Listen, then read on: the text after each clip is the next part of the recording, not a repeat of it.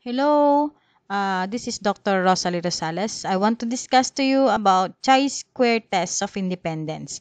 So usually ito ginagamit ko to para ma-determine yung significant relationship between the profile of each and every respondents I had and to the uh, yung relationship ng profile nila to the problem or yung kung ano yung hinahanap kong degree of their responses na ang pinag-measure ko naman doon is the mean square, I mean uh, the Likert scale, okay? So, here, I want to discuss to you first what is chi-square test of independence, okay?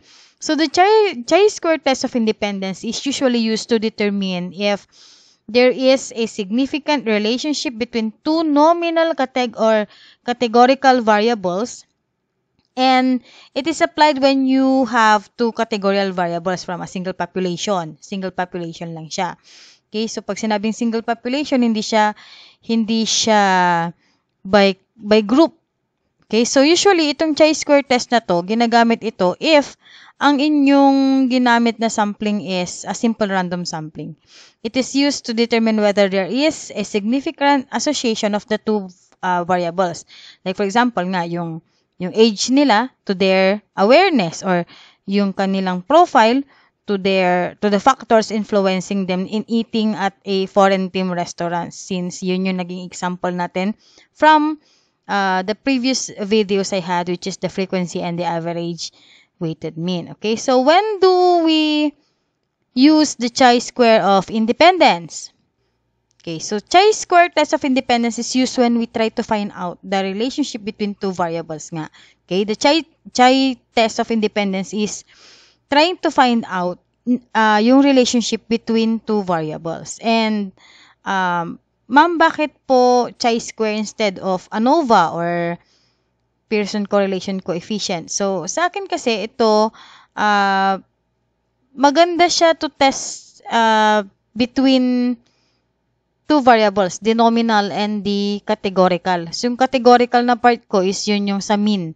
While yung nominal part ko naman is yun yung sa frequency. Magkaiba kasi yung formula nila. Sa ANOVA kasi, pag ANOVA or one-way ANOVA, it is about comparing two means.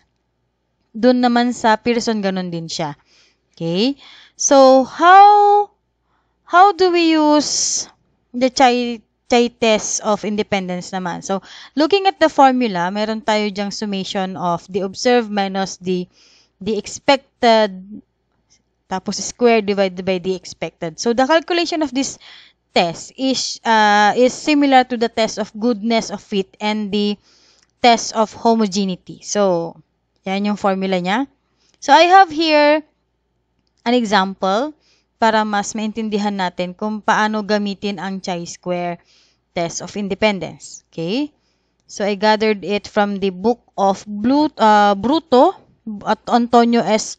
Bruto from his inferential statistics covering a non-parametric uh, and non-parametric. Itong chi-square is a non-parametric test. Okay?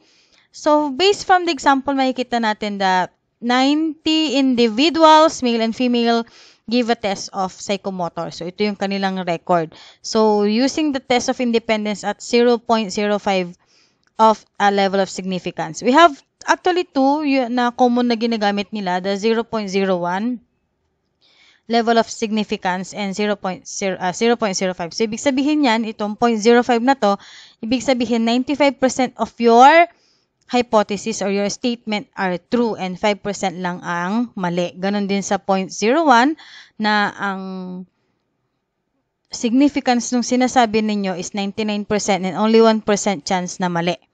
Yun yung ibig sabihin yan. Okay? So, solving it by the step method. So, number one, ano bang kailangan nating alamin?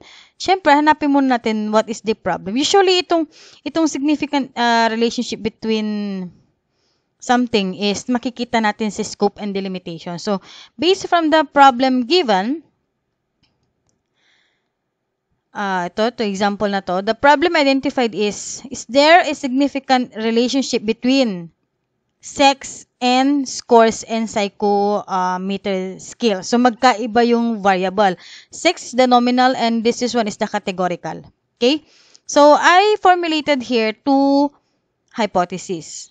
Okay? So, from the two hypotheses, meron tayong the null, which is the negative, there is no, and the hypothesis mismo na ano, na in a positive form. Okay? So, solving it, ang ating uh, level of significance which represents by a by a uh, symbol of a 0.05 kailangan malaman din natin yung degree of freedom so for you to determine the degree of freedom uh, count the number of columns minus 1 given yung 1 count the number of row minus 1 given din siya so halimbawa dito sa sample natin we have 2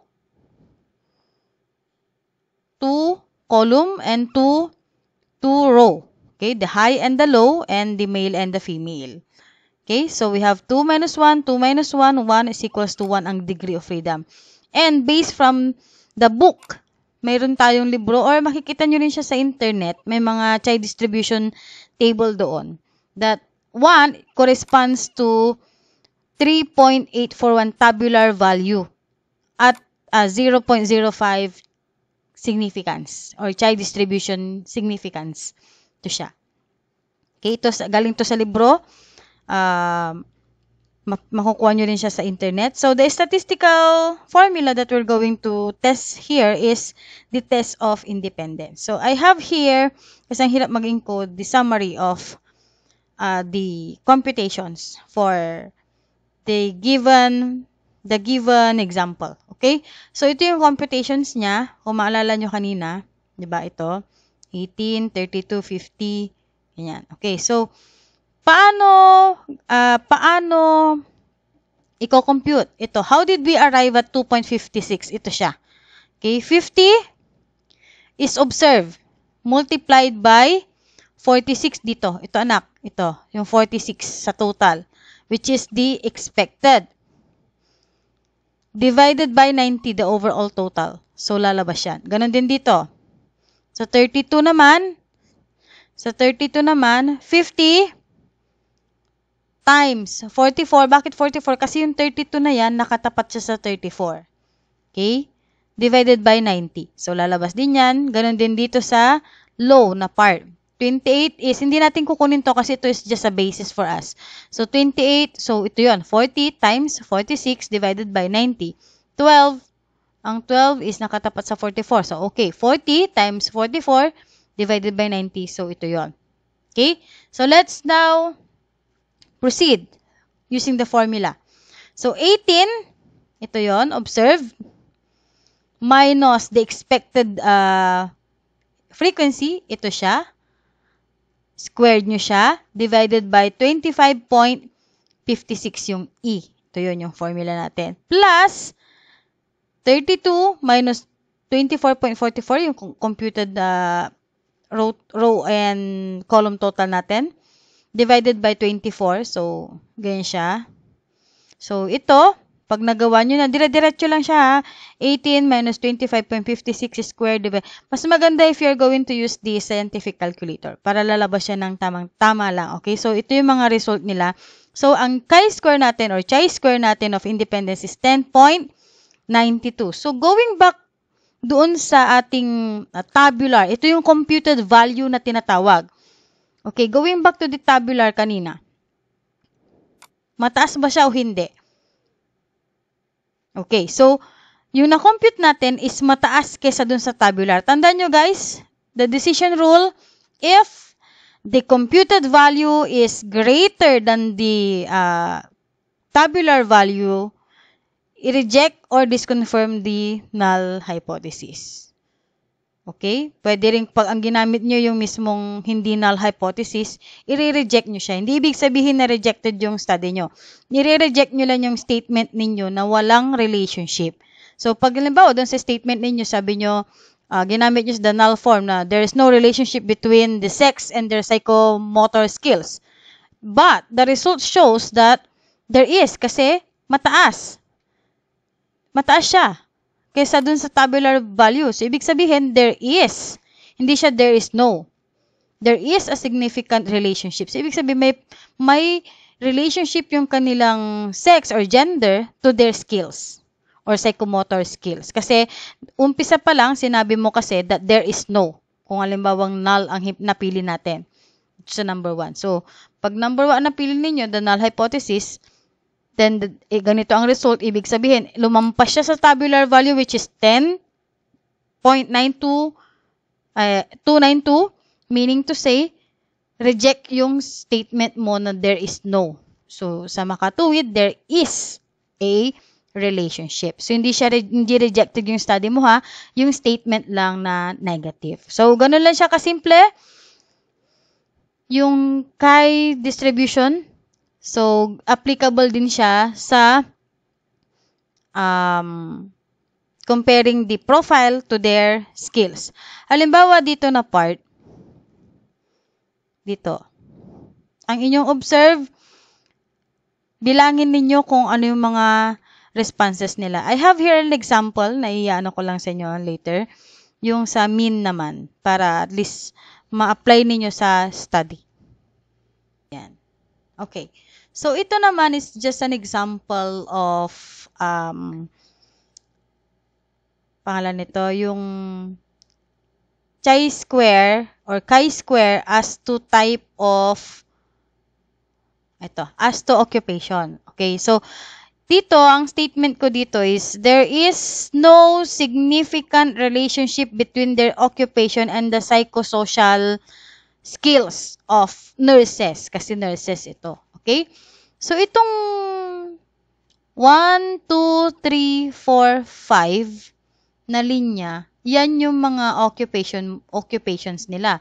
Occupation 1, occupation 2, occupation 3, occupation 4, occupation 5. And, lahat sila, ah, sorry. Mali pala. Okay, sorry. So, lahat sila pala, under occupation, sumagot sila as to 5, 4, 3, 2, 1. Skills pala ito. Okay, so kasi inopen ko lang siya. Sorry for the information a while ago. So this is their responses as to 54321. So ito yung kanilang uh, responses. So yung mga respondents ko na 63, 19 of them, parang ganon, 19 of them sumagot na 4, ay 5, 4, 3, 2, 1. So, scaling ito. So, mas maganda if tatabulate kayo ng study ninyo is nakahiwalay yung per uh, per profile nila para hindi kayo mahirapan dito sa sa chi-square or the chi-square of independence. Okay? So, ito yung mga responses nila. So, 19 ang responses niya. Gaya kanina, ang sabi natin is hindi natin kukunin ito para makuha natin yung total nila, yung expected kasi dalawa yan. Okay? So, dito kasi finormulate, uh, may formula na ako dyan na nilagay. Okay? Ito, observe. Ito yung mga observe natin. Yung mga responses nila. So, out of the respondents I had, 19 of them sumagot ng 5. Ganon. Okay? So, here, here, uh, 19, ano yun?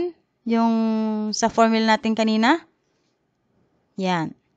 Okay, so 50 times 46, ganon. So, ganon din siya dito sa chi-square na yan. Okay, so itong na itong 19 instead na nilagay ko pa sa gilid niya na naka-open and close parenthesis, nilagay ko na siya sa baba dito siya. So, kung mapapansin niyo to, ito, i-compute nyo using your calculator, 219 times 63 divided by 732. Lalabas ito. Okay? So, the next is, ito na. So, finormulate ko na siya para mas madali sa inyo mag-compute na hindi nyo isa-isa. Ito yung technique ko lang. Okay? So, the next is, observe minus expected. Gaya ng formula rin kanina. Di ba? Observe minus expected. Okay? So, ito siya. 19 minus 18.85. Ito yung lumabas. In-squared ko ngayon siya. Okay? So, paano siya i-squared? Ito yung formula niya. Kinuha ko lang siya, nilagyan ko ng parang ganun sa taas, time, uh, multi, kasi ano yan, uh, uh, multiply, ano ba tan? Multiplied by 2 ng pareho niya. Okay? Or squared ng pareho nito. Okay? So, yun yung squared niya. Pagka squared mo siya is divide E. 'Di ba? Ito yung formula niya. So, ito yung ginawa ko is yan. So, E ah ito divide E. So, ito muna yung squared divide E. So, yun yung nakaset na